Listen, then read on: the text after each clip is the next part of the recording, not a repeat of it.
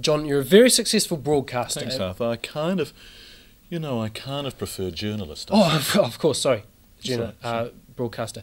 I won't do that again. Um, can you explain it? Well, in general Uh, terms, is I there any one aspect that you focus on? Well, you know, funnily enough, I quite like to let people talk. I guess, you know, to listen. Oi! Are you sure we'll be okay without makeup? Yeah.